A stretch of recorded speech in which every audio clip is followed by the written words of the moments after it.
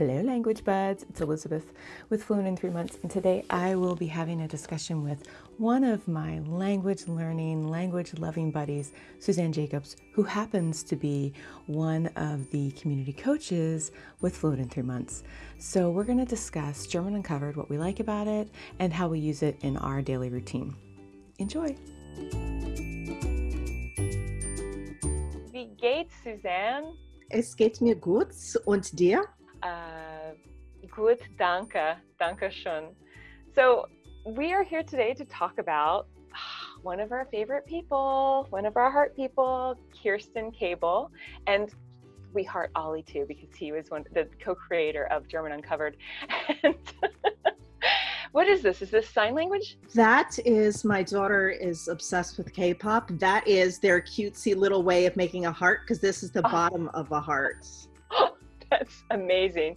We K-pop heart Kerstin and Olly. So we're talking about German Uncovered, and I figured in honor of the Fluent Show, which Kerstin is a host for, we would do this uh, sort of a la top tools. And I've even thought of a way to pretend make her theme song our theme song. So it's like um, top tools, German Uncovered, top tools but I don't. That's all. That's as far as I got. I didn't really plan that much, but it's a good enough song. right. So um, what we're going to do is we are going to each have two of our favorite parts of German Uncovered. We're going to discuss them just informally, just between two friends. I introduced you earlier, but um, we talk a lot during uh, the Fluent in Three Challenge, so it really is just a chat between two friends. I would mm. say the first thing that I love, because I had to narrow it down to two so that this um, video wasn't five hours long, is uh, German Uncovered is structured to get you immediate success. That was my, probably my absolute favorite. And what I mean by that is, I feel like we get to peek inside the minds of two polyglots, mm. you know, especially for you and I, we've learned a number of languages already, but you don't forget what it's like to be a beginner beginner and not know how to learn a language. And Olly and Kerstin walk you through how to find cognates, which is words that are similar to English words, and also how to um, how to read something without knowing with only without knowing more than 10% of it, which is very frustrating if you're not if you're not kind of trained in it. And so they train you on how to learn a language on top of how to learn German. So I think you can actually recycle the things that you learn in this course with other languages as well.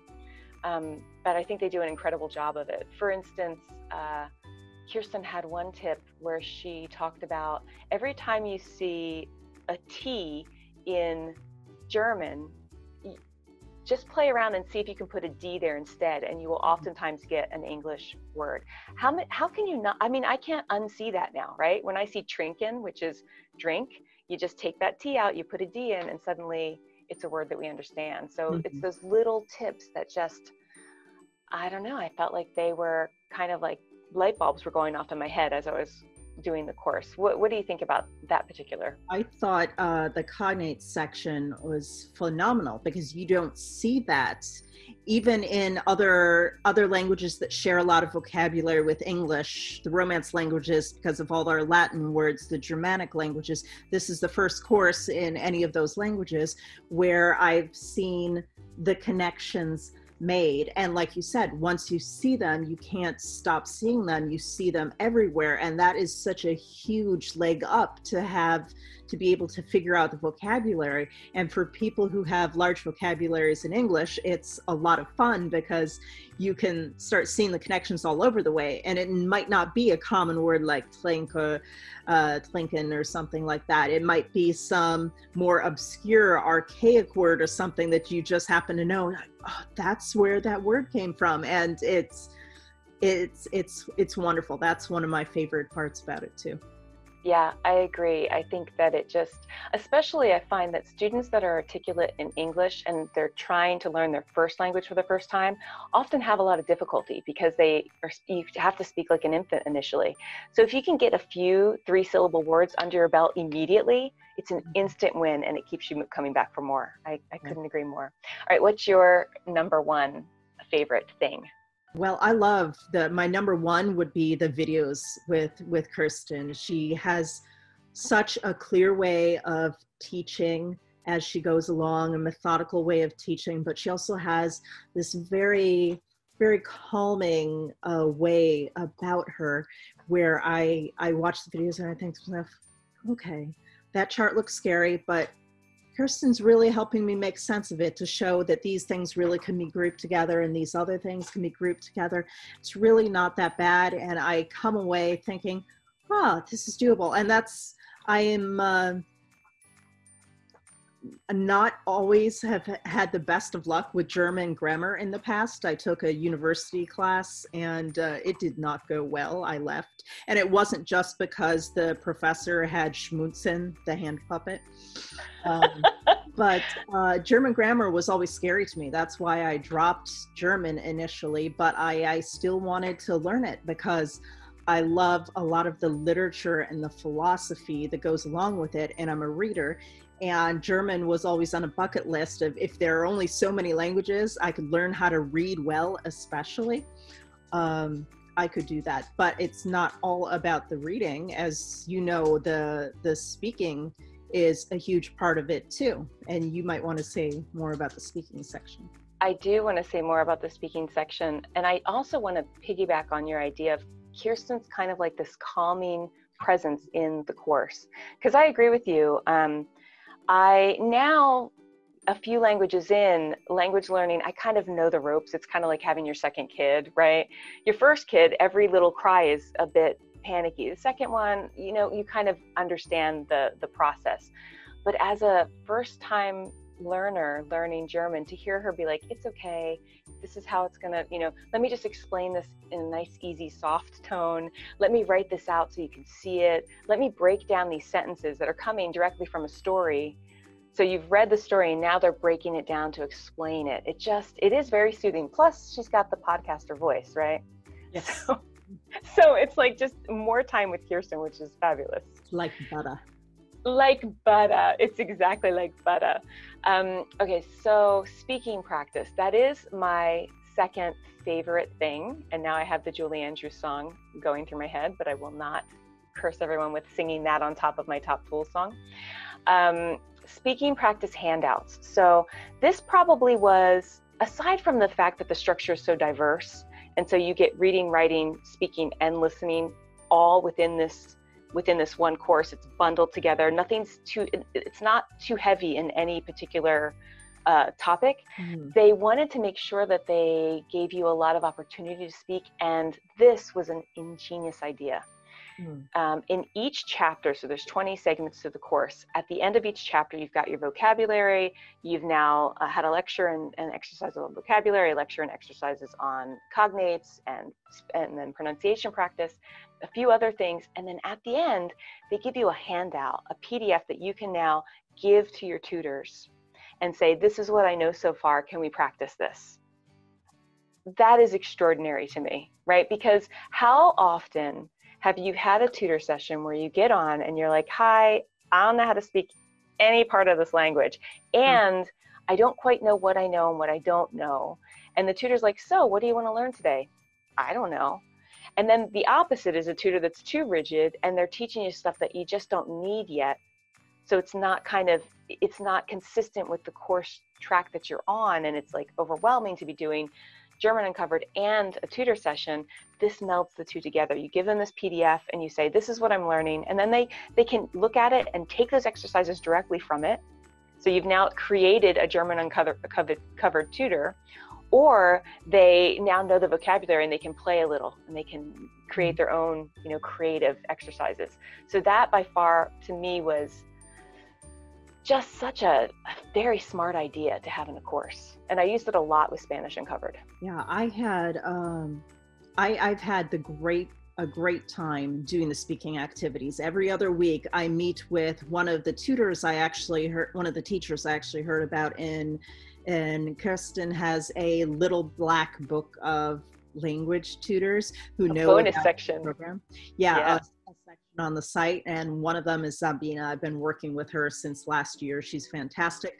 But the uh, I want to say that the speaking practice worksheets have the teacher instructions there, so you can really uh, give that to any teacher, and you're allowed to. Uh, you have permission to share it with uh, the teacher of your choice. Yeah, it's plug and play, right? Yeah. Here you go, and then the native and you can use it with language exchange partners too which i mm-hmm. find a lot of people flounder with language exchange partners. What should we do? What should we talk about? We talk about the same thing every time. Give them your speaking practice mm-hmm. handout and you will have tons to talk about right?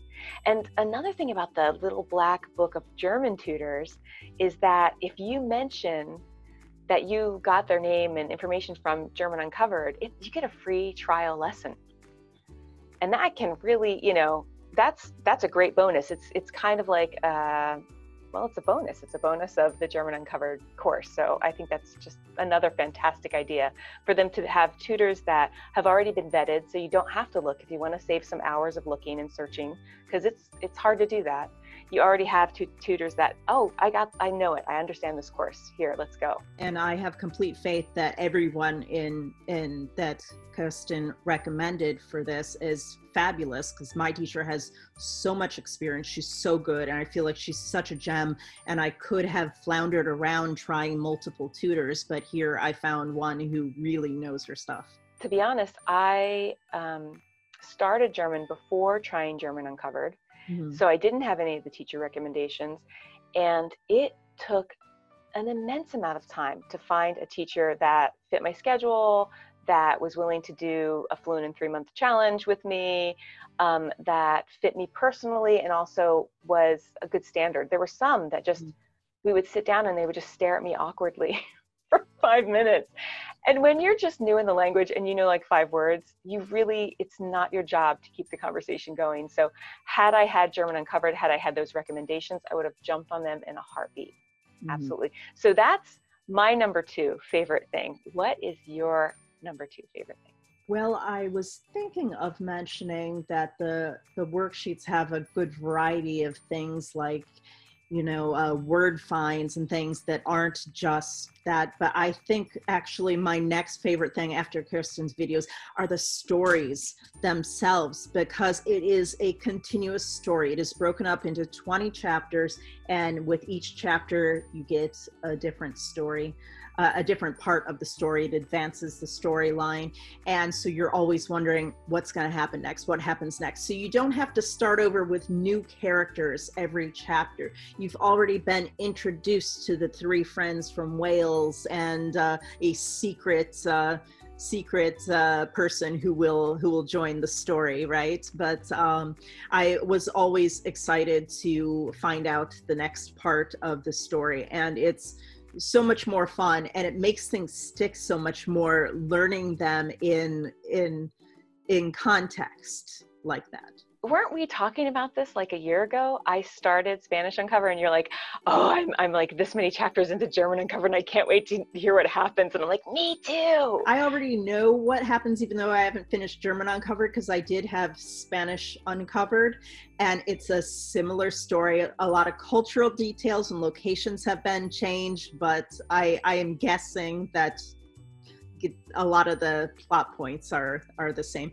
And olly did a great job at making an interesting story for that. And uh, oh, oh i forgot to mention it's important to know all of these stories come with native speaker audio files. They are all read aloud. So I will listen to it once, twice, occasionally three times, and then I will listen to it while I am reading the text at the same time. So it's Sometimes there is a dearth of good native speaker audio just for the A1 levels that's comprehensible, and this is that. Yeah, you talked about two things there that I, I want to acknowledge in, in terms of my language learning that I love. Number one is learning through story, mm. because mm-hmm. if I hear about Alice going to school and getting her lunch, losing, losing her lunch, and then the next story is Frederick going to the beach it's just it's kind of shallow but when you've got the storyline that you're following it's kind of like watching a tv series. You want to know what happens next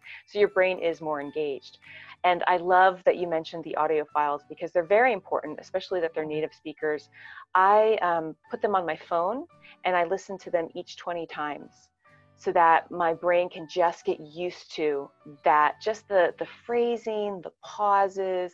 At first it just sounded like jibber jabber to me. Mm-hmm. And then about 10 times in, it was like, oh. And then I would also do just what you were doing go back and read and listen.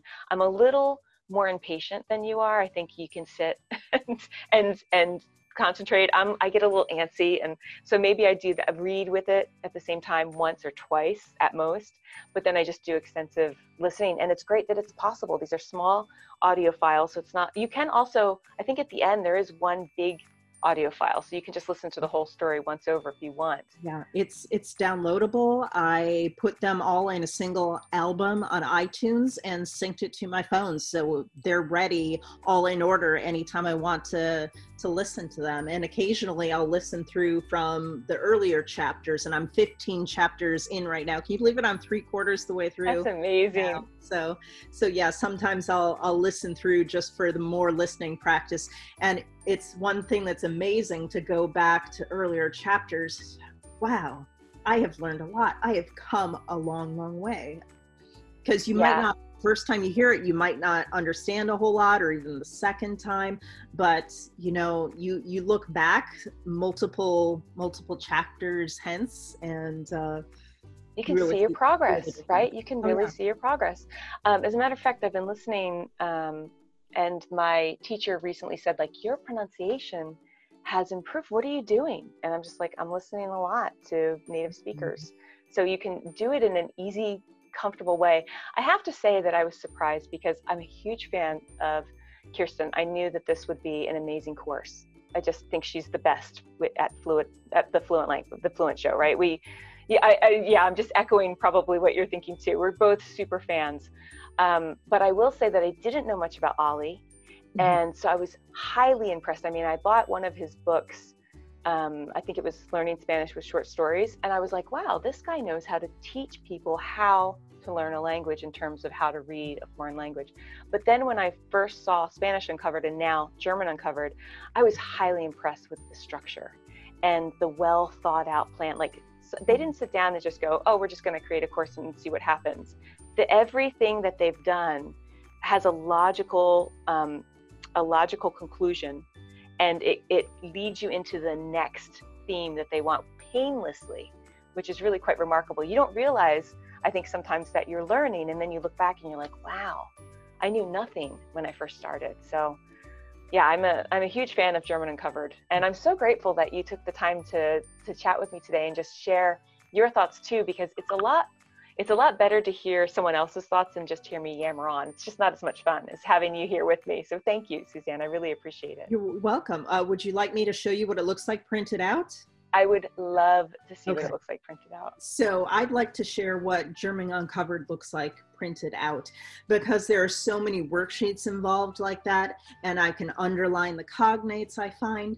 Uh, I work better with paper and I wanted to turn it into a reference that I could keep around. Here's how comprehensive it, here's how big it is. This is a two inch binder I have, it is almost full. I've got 15 out of 20 chapters printed. It's going to be stuffed by the time I Oh, it's not, it doesn't have the whole course in it yet. Oh, yeah, this is not even the whole course. This is, uh, so far I've got. Wow. 15 of the chapters in here. There are five more chapters left. Wow. Left to go in this. So it's it's very comprehensive, and I'm really glad I have this around because I often end up going back to other chapters in it. Thank you so much for showing us that and for showing us all those fabulous books in the background. Okay. I want to just go hang out there and read with you all day long. Well, thank you so much for showing the actual um, the the bulk of just the 15 chapters, not even five more to yeah. go. Thank you for sharing right. that. I love seeing that on Instagram too. On your Instagram account, we have like a really pretty uh, version of it. And thank you for answering questions. Oops, I almost knocked my camera over. and thank you for answering questions. And I will see you back in the challenge. And that's it. Thanks so much for joining us. If you are reading this on or watching this on the Fluent in Three Months website, scroll down and read the rest of the article because I did include a number of really neat tips and details about the German Uncovered course. If you are on YouTube, have no fear, you do not have to miss out. All you need to do is go to the link in the description box, click on it, it'll take you to the article that I'm talking about. I hope you liked this video. If you did, please, pretty please do give it a thumbs up. You can only really give it one thumbs up, but if you could give it two thumbs up, I would appreciate it. But you can't, you can only give it one. So please give it one thumbs up and subscribe to our channel for lots more language learning content. The famous Benny Lewis is here, so you want to hear what he has to say. Thanks so much for joining us, and I'll see you again another time.